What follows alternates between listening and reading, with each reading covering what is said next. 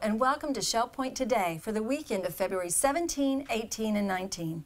I'm Lynn Schneider, the Director of Marketing and Communications, and with me on the show again today is Wellness Manager Michelle Tompkins. Hi, Lynn. It's been great co-hosting the show with you this week. Well, it's been great having you, and also it's been great hearing about all the wonderful things that our residents can get involved in to stay fit and to keep in shape.